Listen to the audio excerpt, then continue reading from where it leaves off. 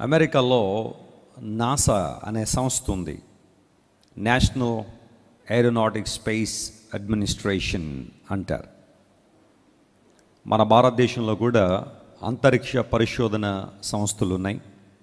అదేవిధంగా ప్రతి దేశంలో కూడా స్పేస్ రీసెర్చ్ చేసే ఆర్గనైజేషన్స్ ఉంటాయి. దానిలో చాలామంది తల్లపండిన శాస్త్రవేత్తలు పనిచేస్తూ ఉంటారు. వారి ఆలోచన వారి యొక్క ఉద్దేశం సృష్టి మీద అధ్యయనం చేయడం. ఈ సృష్టి ఎలా ఉంది? ఈ సృష్టి ఎంత ఉంది ఈ జీవక్రియలు లేదా సృష్టి క్రమం ఎలా కొనసాగుతుంది? వీటి మీద రీసెర్చ్ చేయడానికి వారు అహర్నిశలు కూడా చాలా ప్రయాసపడుతూ ఉంటారు. నాసాలో తలపండిన శాస్త్రవేత్తలు ఎన్నో ఎన్నో ప్రజోపకరమైన కార్యక్రమాలు చేపట్టడానికి వారు ఇష్టపడుతూ ఉంటారు. అలాంటి సందర్భంలో పంతొమ్మిది వందల ఎనభై తొమ్మిదో సంవత్సరంలో నాసా వాళ్ళు మ్యాజిలాన్ స్పేస్ ఎక్స్ప్లోరర్ అని ఒక శాటిలైట్ లేకపోతే ఒక స్పేస్ క్రాఫ్ట్ ఒకటి ఆకాశంలోకి పంపించారు. మనకున్న తొమ్మిది గ్రహాల్లో శుక్రగ్రహం వీనస్ అనే గ్రహం. అది ఎంత ఉంది? దాని మీద పరిస్థితులు ఎలా ఉన్నాయి? దాని మీద నీళ్ళు ఉన్నాయా లేదా? మానవుడు జీవించడానికి ఉపయోగం లేదా? ఇలాంటి విషయాలు రీసెర్చ్ చేయడానికి మీరు చూస్తున్న మ్యాజిలన్ స్పేస్ క్రాఫ్ట్ అనే దాన్ని ఆకాశంలోనికి అనగా వీనస్ కక్షలోనికి దాన్ని పంపించారు. వీనస్కి ఆ తర్వాత భూమికి మధ్య ఉన్న దూరం సిక్స్టీ ఎయిట్ మిలియన్ కిలోమీటర్స్. అంటే ఆరు కోట్ల ఎనభై లక్షల కిలోమీటర్లు. అంత దూరంలో ఉన్న ఈ వీనస్ని లేదా ఆ గ్రహాన్ని పరిశీలన చేయడానికి ఆ మ్యాజిల్లోన్ అనే ఆ స్పేస్ క్రాఫ్ట్ని నాసా వాళ్ళు పంపించారు.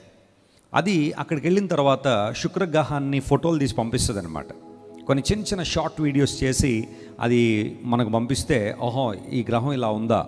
దగ్గరికి ఎలా ఉంటుందా అని శాస్త్రవేత్తలు గుర్తిస్తూ ఉంటారు. చాలా ఖర్చు పెట్టి సుమారుగా ఈ రోజున అదే మ్యాజిలన్ స్పేస్ క్రాఫ్ట్ మళ్ళీ వీనస్లో పంపించాలంటే ఏడు వేల కోట్ల రూపాయలు కావాలి. Seven thousand crores. ఏడు వేల కోట్ల రూపాయలు. అవసరం అవుతాయి.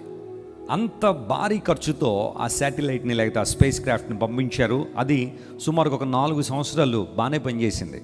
నాలుగు సంవత్సరాలు బాగానే పనిచేసి సుమారుగా వీనస్ చుట్టూ సుమారుగా పదిహేను వేల సార్లు రౌండ్లు కొట్టి ఎన్నో ఫోటోలు పంపించింది. నాలుగు సంవత్సరాల తర్వాత సడన్గా ఎందుకో పనిచేయడం మానేసింది. ఫోటోలు రావడంలా. ఫర్దర్ ఇన్ఫర్మేషన్ దాని నుండి రావట్లేదు డేటా రావట్లేదు ట్రాన్స్మిషన్స్ రావట్లేదు అందును బట్టి శాస్త్రవేత్తలు ఆలోచన చేశారు. ఏం చేద్దాం? ఇంత ఖర్చు పెట్టి దాన్ని పైకి పంపిస్తే అది సైలెంట్ అయిపోయింది చూసావా? ఏం మాట్లాడటం లేదు ఏం ఫోటోలు పంపించట్లేదు దాన్ని ఏం చేద్దామంటే ఇంకా ఫైనల్గా వారు తీసుకున్న నిర్ణయం ఏంటంటే దాన్ని డెస్ట్రాయ్ చేసేద్దాం. దాన్ని కొలాప్స్ చేసేద్దాం. వీనస్ కక్షలోనికి ఇంకొంచెం దూరం తీసుకెళ్ళిపోతే దానికున్న ఆ గ్రావిటేషనల్ ఫోల్డ్స్ దీన్ని ఆకర్షించుకుని ఆ క్రింద పడిపోయేలా చేస్తుంది. అది పోతుందని చెప్పి శాస్త్రవేత్తలు పంతొమ్మిది వందల తొంభై నాలుగో సంవత్సరం అక్టోబర్ పదకొండో తారీఖు అనుకుంటా దాన్ని వీనస్ కక్షలోని కనుక దగ్గరలోని తీసుకెళ్ళి కొలాప్స్ చేసి డిస్ట్రాయ్ చేశారు. ఎందుకు అంత భారీ ఖర్చు పెట్టి దాన్ని పైకి పంపించినప్పుడు నాలుగు సంవత్సరాల తర్వాత అది పనిచేయకపోతే ఎందుకు దాన్ని కొలాప్స్ చేశారు ఎందుకు డిస్ట్రాయ్ చేశారంటే దానివల్ల ఇంకా ప్రయోజనం లేదు కనుక. దానివల్ల ఉపయోగం లేదు. ఏ ఉద్దేశంతో అయితే వారు దాన్ని తయారు చేసి శాస్త్రవేత్తలు అనేక సంవత్సరాలు రాత్రింబగళ్ళు కష్టపడి ప్రతి మైన్యూట్ థింగ్లో కూడా జాగ్రత్తను వహించి చక్కగా సిద్ధపరిచి దాన్ని ఆ శుక్రగ్రహం దగ్గరికి పంపిస్తే నాలుగు సంవత్సరాలు బాగా పనిచేసి ఆ తర్వాత అది పనిచేయడం మానేసింది. ఆ తర్వాత రీసెర్చ్లో తెలిసింది ఏంటంటే దానిలో పవర్ సరిపోవట్లేదట. తిరగడానికి కావలసిన పవర్ దానికి లేనందువలన అది పడిపోయిందని శాస్త్రవేత్తలు గుర్తించారు. నేను ఇలాంటివన్నీ చదువుతున్నప్పుడు కొన్ని విషయాలు నాకు అర్థమవుతూ ఉంటాయి. దేవుడు మనందరినీ కూడా ఒక ఉద్దేశంతో ఒక పర్పస్తో కలుగు చేశాడు. ఇక్కడున్న మనందరికీ దేవుడు ఒక ఉద్దేశాన్ని నిర్ణయించాడు. జాన్ వెస్లీకి దేవుడు ఒక పర్పస్ నిర్ణయించాడు. కూర్చున్న మీకు ఈ మాటలు ఆన్లైన్లో ఎవరైతే వింటున్నారో ప్రతి ఒక్కరి పట్ల దేవుడికి ఉద్దేశాన్ని ఒక పర్పస్ని కలిగి ఉన్నాడు. What happens when we when we neglect our purpose what happen when we forget our purpose మన ఉద్దేశాన్ని మన యొక్క పర్పస్ని మనం మర్చిపోతే జరిగేది ఏంటి ఆ Magellan spacecraft space explorer అది దాని ఉద్దేశం నెరవేర్చకపోతే శాస్త్రవేత్తలు అన్నారు తీసిపడండి ఇంకా అక్కర్లా మనకి. మనం అనుకున్న పని అది చేయనప్పుడు మనకు కావలసిన ఇన్ఫర్మేషన్ అది ఇవ్వనప్పుడు మనకు కావలసిన డేటా అది ట్రాన్స్మిట్ చేయనప్పుడు ఇట్స్ సంథింగ్ యూజ్లెస్ అది ఉపయోగం లేని ఒక పరికరం అయిపోయింది కాబట్టి దాన్ని కొలాప్స్ చేసేసేయండి.